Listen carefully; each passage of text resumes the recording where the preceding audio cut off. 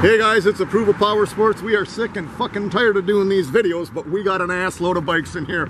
So we are gonna sell them. And anybody looking for a bike, we got them. This one's a 2016 Street Glide Special.